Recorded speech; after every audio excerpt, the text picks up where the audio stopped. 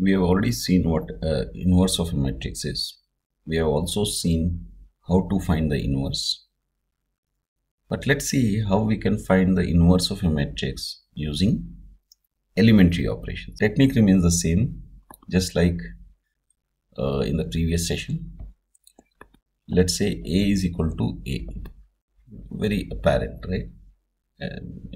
a matrix is equal to itself.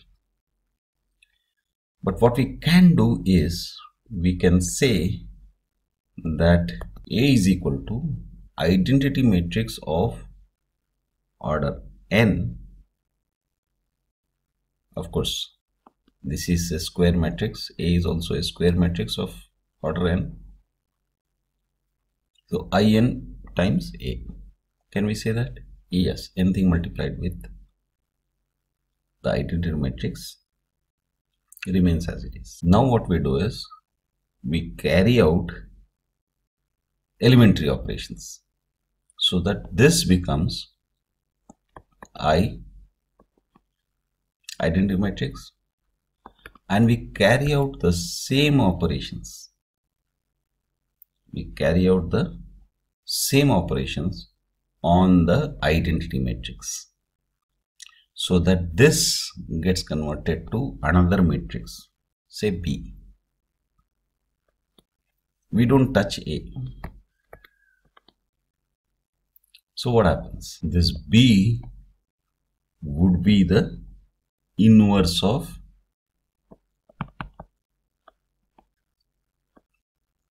inverse of A. Why? Because remember A times A inverse is equal to identity. Here we are saying, well, let's write it in the right order. So A inverse times A equal to I. Here what we are saying is B times A is equal to I.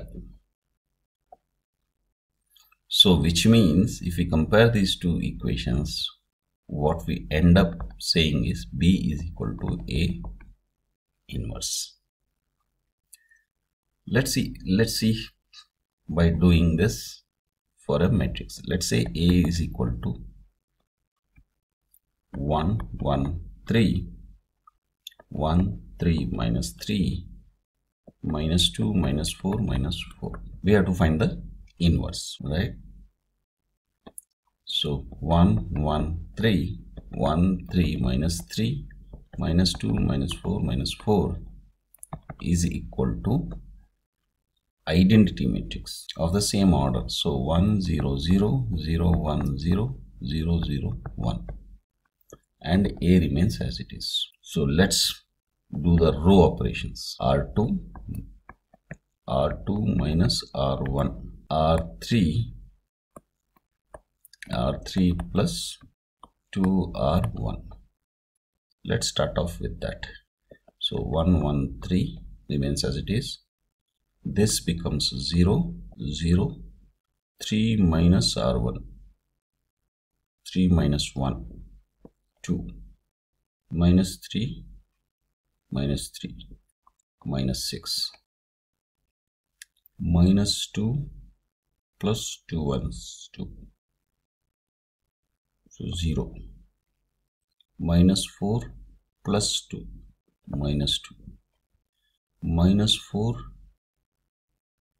plus 6 2 now we do the same operations to the identity matrix. This remains as it is. R2 minus r1 so this becomes minus 1 1 0 r3 plus 2 r1 so 2 0 1 divide the second row by 2 and third row by 2 let's divide it so that we get ones. So r2 r2 by 2 r3 r3 by 2 so 1 1 3 0 1 minus 3 0 minus 1 1 same thing to the identity matrix. 1 0 0 minus 1 by 2 1 by 2 0 2 by 2 is 1 0 and 1 by 2 a remains as it is. Now this we have to make it as 0 so r1 r1 minus r2 this also we need to make it as 0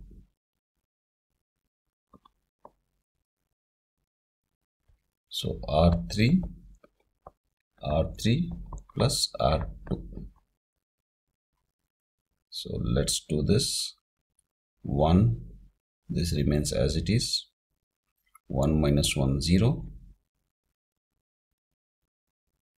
3 minus minus 3 is 6 0 1 minus 3 0 0 minus 3 plus 1 minus 2 same thing here. 1 no. This is r1 minus r2 1 minus minus half.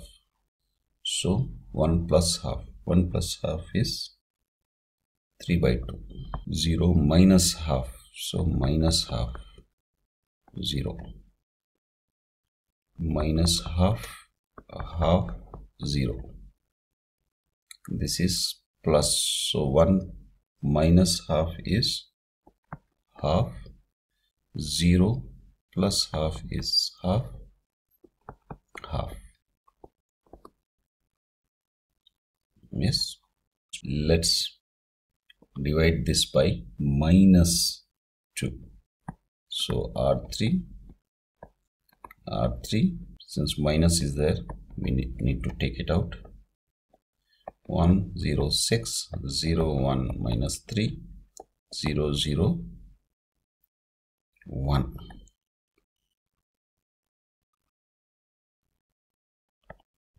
same thing on the right hand side.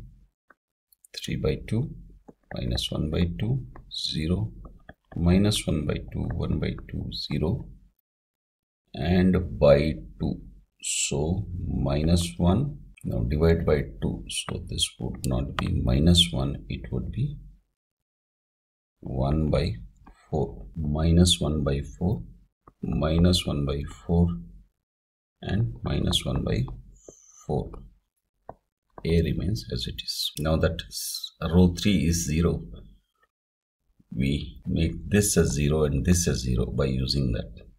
So r1 r1 minus 6 r3 r2 r2 plus 3 r3 so here r1 minus 6 times r3 so 0 so this remains as it is. This remains as it is. This becomes 0 0 1 plus so 0 now this remains as 1 this becomes r3 minus 3 plus 3 so 0 this remains as it is. Same operations here r1 is 3 by 2 minus 6 r3 3 by 2 minus 6 times minus 1 by 4 3 by 2 so 3 by 2 minus 3 by 2 becomes 0 minus 6 times minus 1 by so this is 1 plus so minus times minus is plus. So this becomes 6 by 2 6 by 2 is let's stick to 6 by 2 itself as of now. What happens to this mm, r1 so minus half minus 6 times minus half.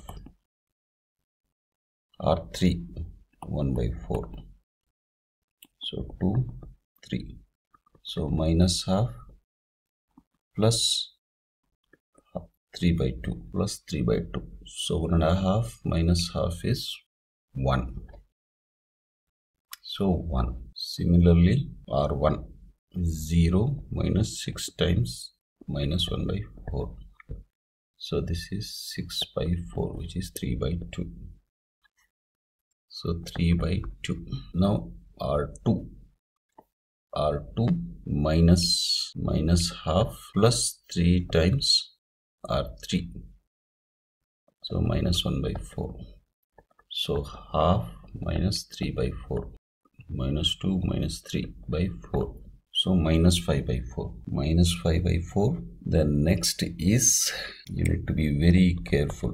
Half plus 3 times minus 1 by 4 so half minus 3 by 4 should come to minus 1 by 4 and r2 plus r2 now here it is 0 0 plus 3 r3 so minus 3 by 4 and this remains as it is. Minus 1 by 4 minus 1 by 4 minus 1 by 4 and a remains as it is. So this has become the identity matrix. So which means this is the inverse so identity matrix is equal to A inverse A. A is as it is. So which means this is the inverse. But this also can be simplified by taking out 1 by 4 as a common factor. So what we'll end up with is 12, 4, 6 minus 5 minus 1 minus 3 minus 1 minus 1 and minus 1 so that's it for today. Bye for now